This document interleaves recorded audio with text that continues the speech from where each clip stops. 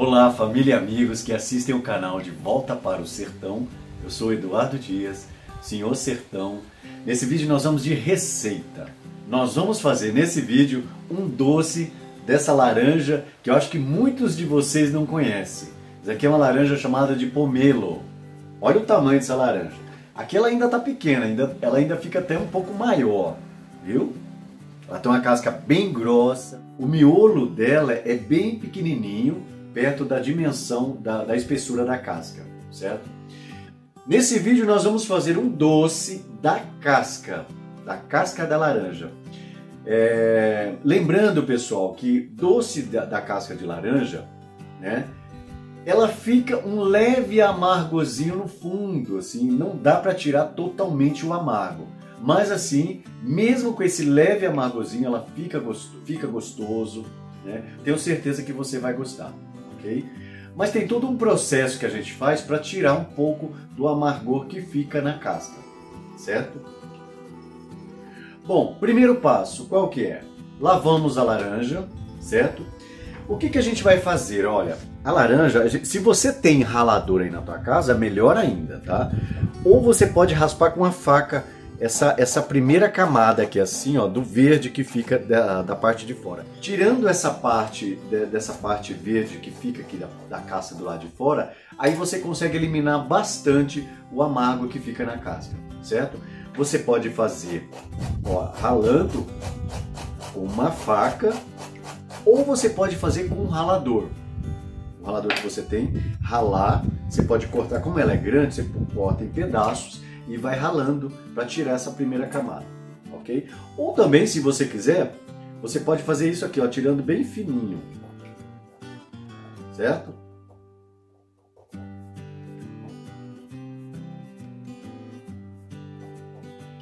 É esse sumo que fica aqui, ó, nessa casca, que deixa o doce amargo, certo? Olha, essa, essa parte de fora que deixa o doce um pouco amargo. Mas fazendo isso, você tirando essa partezinha que fica aqui onde fica o sumo, você consegue eliminar em muito o amargo que fica que vai ficar no doce, ok? Bom, vamos lá. Primeiro passo, então vamos eliminar essa casca aqui, essa parte de fora da casca, certo? Seja ralando ou cortando fininho. Eu vou cortar fininho assim, ó, para descascar. Ok? Vamos lá?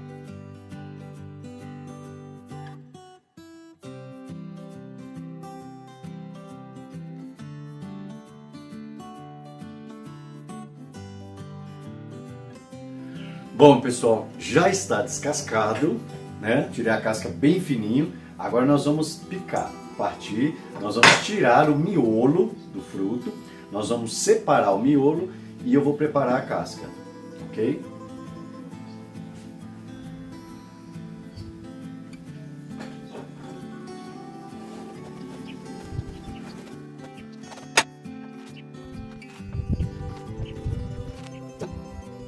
Esse miolo do fruto nós vamos separar, que nós vamos utilizá-lo no doce também da casca, tá?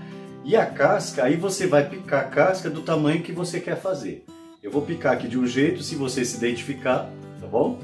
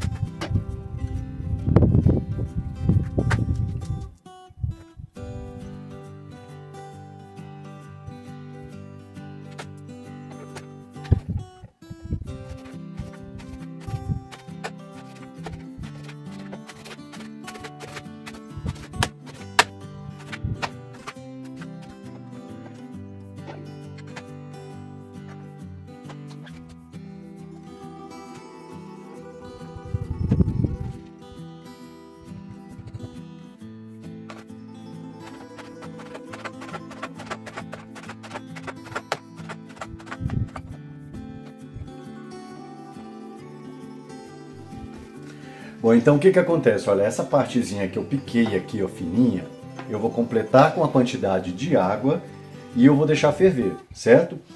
Essa fervura eu tenho que trocar, pelo menos assim eu vou fazer trocando a água três vezes, tá? Para tirar um pouco daquele amargor que fica. Então, quando ela levantar fervura essa primeira água, deixo uns 10 minutinhos, troco a água e volto para o fogo de novo. Isso, esse processo eu vou fazer de duas a três vezes, certo? Para tirar o amargor dela, ok?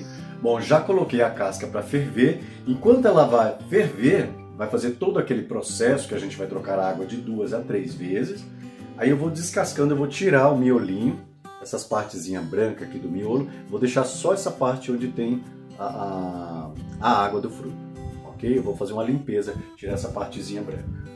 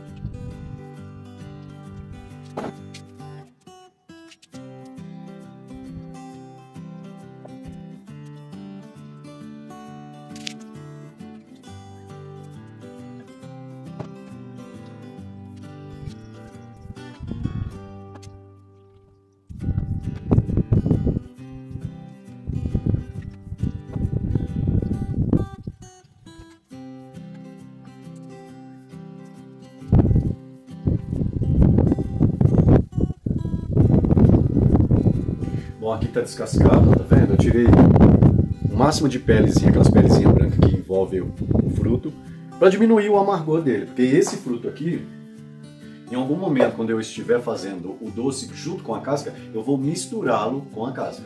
Então, é essa parte aqui da laranja que vai dar uma suavizada no doce, naquele amargorzinho que tem. Olha, pessoal, aqui, olha, a primeira água ferveu, certo? Aí o que, que eu vou fazer agora? Eu vou coar essa água e trocar. Esse processo eu vou fazer de duas a três vezes. Ó, se vocês repararem, a água fica bem verdinha. Ó. É esse processo aqui ó, que você faz que diminui aquele amargor que fica da casca. Ok? Bom, gente, aqui ó, já estou na segunda água, certo? Ó, segunda água, já está fervendo. Eu já vou tirar e já vou coar essa água e trocar a água de novo, que eu vou deixar umas três vezes. Eu vou deixar umas, vou, umas três águas. Eu vou deixar uma, vou fazer uma, eu vou fazer uma troca de três águas, ok? Caso você queira, né, eliminar totalmente, muito assim o amargo, você pode fazer uma, deixar ferver umas quatro vezes, trocar a água umas quatro vezes. Aí vai do teu gosto, ok? Bom, pessoal, aqui olha, nós já estamos já na terceira água fervendo. A água, a água, a gente percebe que ela fica até já mais clarinha. A primeira e a segunda já sai bem verde, né? Então aqui já é um indício assim que já tirei bastante daquela, daquele amargor que fica na casca, tá? Então agora eu vou coar e agora eu começo a fazer o doce, ok? Bom, aqui pessoal eu coloquei meio quilo de açúcar para esse tanto de, de casca que eu coloquei aqui, que eu ainda vou colocar o miolo, certo? E aqui eu vou deixar ferver para fazer a calda. E eu já vou colocar o miolinho aqui para ferver junto com esse açúcar, ok? Olha aqui, pessoal, eu completei com um quilo de açúcar. Então, para esse tanto aqui, eu usei um quilo de açúcar, viu? Aí agora eu vou deixar ferver para derreter bem essa massa aqui, ok? Bom, aqui, pessoal, tá fervendo bem aqui, tá vendo? Já tá começando a engrossar para dar o ponto. Tá vendo? Ela vai demorar um pouco secar, porque ela tem bastante água, né, a, a, o fruto dela, então ela vai secando e vai engrossando esse caldo, vai fazendo essa calda aqui, ó. Mas já, já está dando a cara do doce já, ó, tá vendo? Já vai engrossando já. Um cheirinho bom. E aí, aí você vê, é a gosto, você pode colocar canela, cravo, né, erva doce, Aí é a gosto. Aqui, por exemplo, eu não coloquei nada, porque eu quero sentir o sabor natural da fruta. Eu não quero é, outro sabor interferindo, entendeu? Então por isso que eu não coloquei nem cravo, canela ou outra coisa. Então aqui só está a fruta, tá ok? Mas aí é a teu critério, aí fica o teu gosto. Olha gente, o doce já está dando ponto, tá vendo? Ó? Ele murcha bastante as cascas, olha, já diminui bastante a quantidade, mas olha que cor bonita, olha a textura. Ó, já está quase no ponto já de desligar. Um cheiro bom, gente. Ó, já está no ponto já para quase desligar. Ó.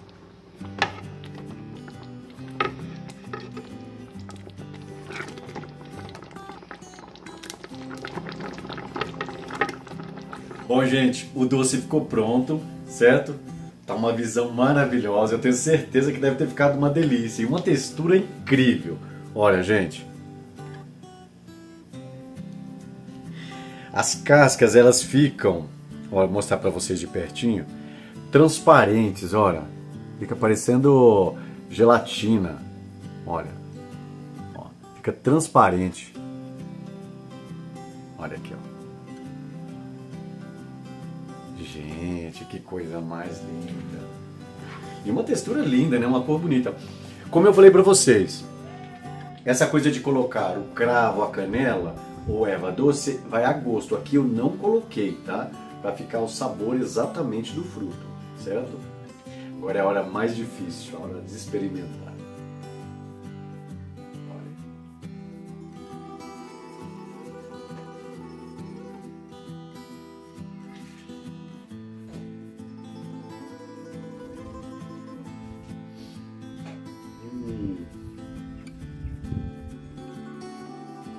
Gente, que delícia. Bom demais, moço.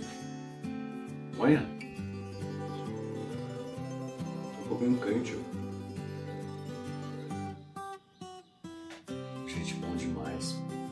Que delícia, que delícia. Bom demais, olha. Hum. Pode fazer que vocês não vão se arrepender, eu tenho certeza. Certeza. Ó.